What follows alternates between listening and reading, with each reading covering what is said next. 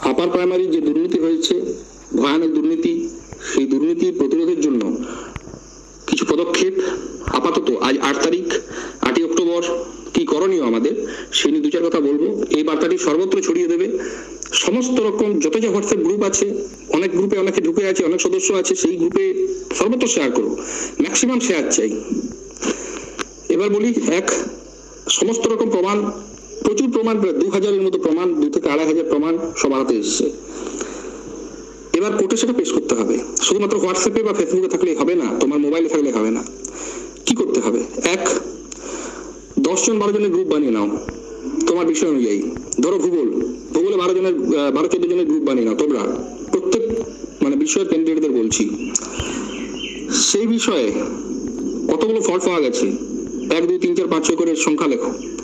নাম, কি কি লিখবে? নাম ক্যান্ডিডেটের একদম স্পেলিং সঠিক স্পেলিং সহ, ঠিক আছে? ক্যাটাগরি বিষয়।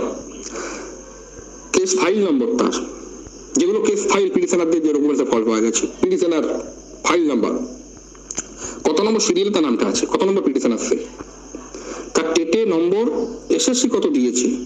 ওয়েবসাইটে মানে এসএসসি কত দিয়েছে বলতে প্যানেলে কত দিয়েছে টেটে নম্বর বাড়ি কত করেছে? মানে ছত্রিশ করেছে না সাঁত্রিশ করেছে না পঁয়ত্রিশ করেছে? এটা। তার কত হওয়ার কথা? তার অরিজিনাল যে টেস্ট মার্কস সেটা কত আছে? এরকম করে সাজিয়ে নাও।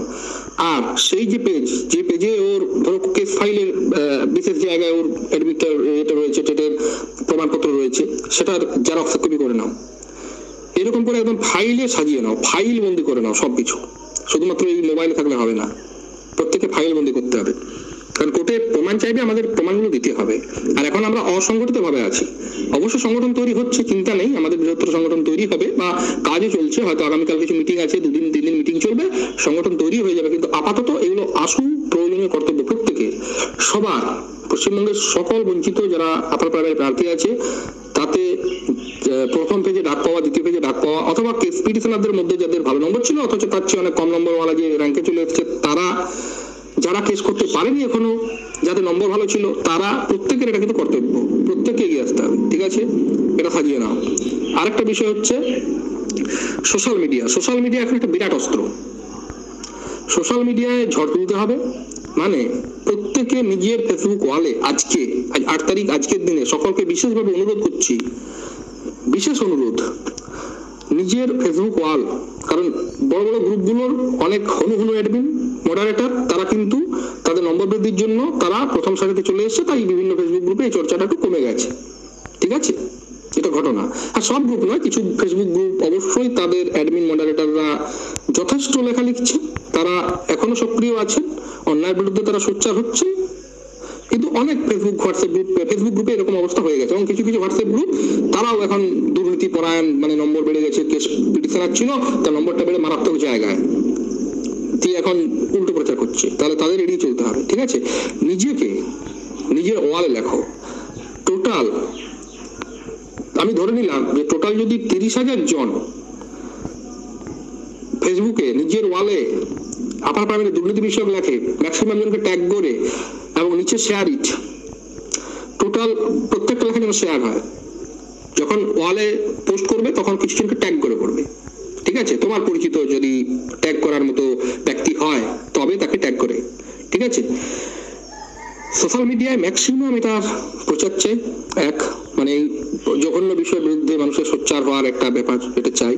সমস্ত রকম ফেসবুক গ্রুপে হোয়াটসঅ্যাপ গ্রুপে সর্বত্র আপার প্রাইমারি নিয়ে যে দুর্নীতি, সেই বিষয়টা তুলে ধরতে হবে। কারণ বিভিন্ন ধরনের যে প্রিন্ট মিডিয়া ও ইলেকট্রনিক মিডিয়া তার মধ্যে দু একটা চ্যানেল গতকালও খবর দেখিয়েছে। একটা চ্যানেলে দেখলাম দেখিয়েছে, আপার প্রাইমারি দুর্নীতি নিয়ে বিভিন্ন রাজনৈতিক সংগঠনেরা এগিয়ে আসছেন, ঠিক আছে? অরাজনৈতিক সংগঠন, বিভিন্ন শিক্ষক সংগঠন, তারাও কিন্তু এগিয়ে আসছেন। শিক্ষক ঐক্য মুক্ত মঞ্চ তাদের যারা কর্ণধার রয়েছেন, সেসব শুভানুধ্যায়ী ব্যক্তিদের ধন্যবাদ জানাই, বিশেষভাবে কৃতজ্ঞতা জানাই, কারণ তারা অন্যায়ের পাশে থেকে মানে অন্যায়কে বরদাস্ত করেননি এবং অন্যায়ের বিরুদ্ধে সোচ্চার রয়েছেন এবং আজও অন্যায়ের বিরুদ্ধে সোচ্চার হওয়ার জন্য পথে নামছেন। আন্তরিক কৃতজ্ঞতা জানাই।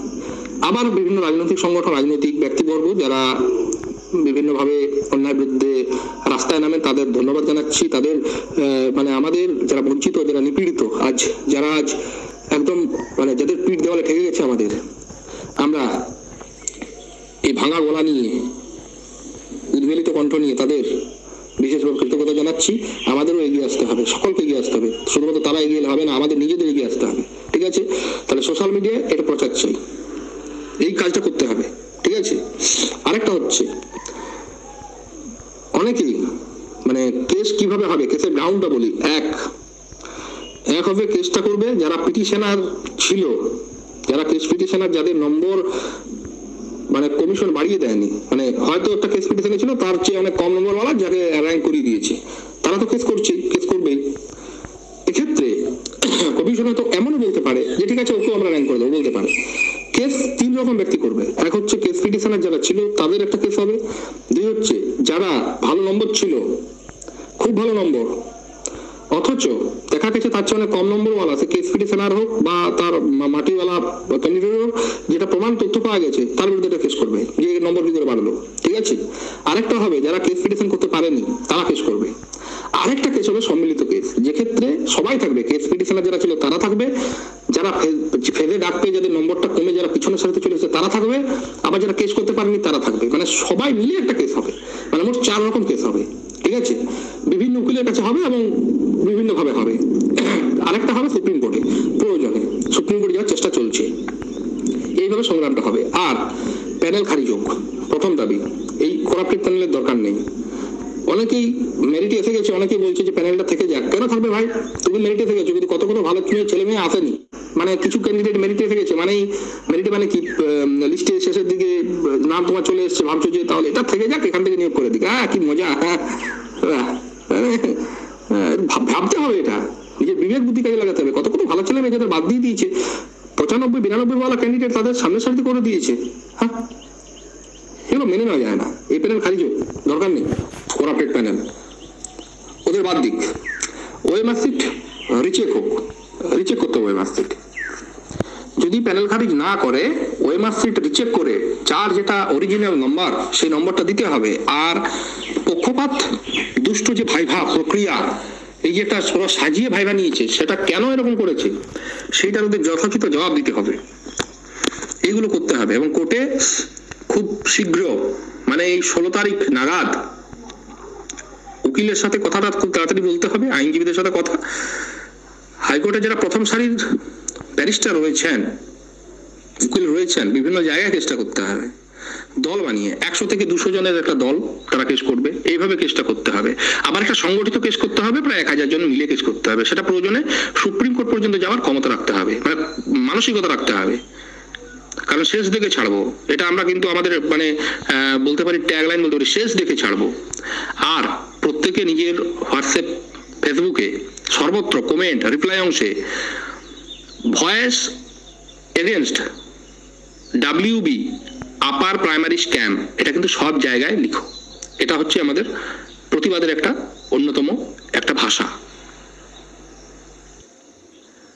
কোনো ধরনের মানে অনেকে অবান্তর কথাবার্তা বলছে, সেই বার- কথাবার্তাগুলোতে কান দেবে না। অনেক বড় বড় মডারেটর বড় বড় অ্যাডমিন ঠিক আছে? হোয়াটসঅ্যাপ গ্রুপের ফেসবুক গ্রুপের অনেকেই নম্বর বেড়ে প্রথম দিকে চলে এসছে। তারা অবান্ত যুক্তি খাড়া করছে, বিভিন্ন ধরনের যেগুলো মানে হাস্যকর যুক্তি। এদের এড়িয়ে চলো, এদের পোস্ট স্ক্রিনশট মেরে কোনো গ্রুপে দেবে না। এদের পোস্টকে এড়িয়ে চলো। অনেকে আবার স্ক্রিনশট মারছে ওইসব গ্রুপ পোস্টগুলোকে দিয়ে বলছে, দেখো, হাস্যকর। আরে স্ক্রিনশট মারার দরকার নেই। ওইগুলোকে এড়িয়ে চলো। অবান্তর পোস্ট ওগুলো দেখে গিয়ে মাথা খারাপ হবে ওগুলো দেখে। নিজের বুদ্ধিকে কাজে লাগাও এবং সংগ্রামে লড়তে হবে। প্রত্যেককে সেরকম তীব্র মানসিকতা চাই। আরেকটা বলি এই বার্তাটি সর্বত্র সর্বত্র ছড়িয়ে দাও, যে কোনো জায়গায়, সমস্ত হোয়াটসঅ্যাপ গ্রুপ যা রয়েছে প্রত্যেকে অনেক জায়গায় সদস্য আছে। ম্যাক্সিমাম শেয়ার চাই। প্রত্যেকে যেন সত্যটা জানে, বাস্তব সত্য, পরিষ্কারভাবে। আর কি করতে হবে? এখন আমাদের আসল প্রয়োজনীয় কর্তব্য কি? আর জেলা মিটিংগুলোতে সবাইকে বলো প্রেজেন্ট থাকতে। আগামীকালও কিছু জেলায় মিটিং আছে। সেই মিটিংগুলোতে উপস্থিত থেকে নিজেদের মধ্যে যে সাংগঠনিক শক্তি, সেটা বৃদ্ধি করতে হবে। সাংগঠনিকভাবে লড়া যায়। আজ প্রায় সবাই এক হয়ে গেছি এবং একত্রিতভাবে লড়তে হবে লড়াই। এই লড়াই প্রত্যেকের বেঁচে থাকার লড়াই, অন্যায়ের বিরুদ্ধে ঐক্যবদ্ধ লড়াই। সবাইকে শেষ পর্যন্ত টিকে থাকতে হবে এবং শেষ শুধু না এটার টোটাল শেষ করতে হবে এই জঘন্য অন্যায়টাকে।